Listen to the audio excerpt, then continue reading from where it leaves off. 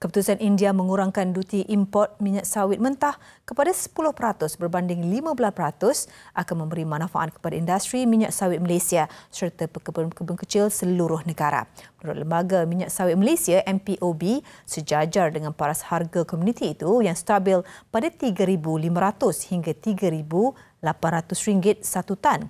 Ekspor komuniti itu ke India yang juga pengguna minyak sawit terbesar dunia dijangka terus meningkat dalam masa terdekat. Data pengawal selia industri itu menunjukkan ekspor minyak sawit Malaysia ke India meningkat lebih 8 kali ganda kepada 1.29 juta tan bagi tempoh Januari hingga Mei 2021 berbanding tempoh sama tahun lalu. Semalam, Kementerian Keuangan India mengumumkan kadar baru cukai import itu buka kuasa sehingga 30 September tahun ini.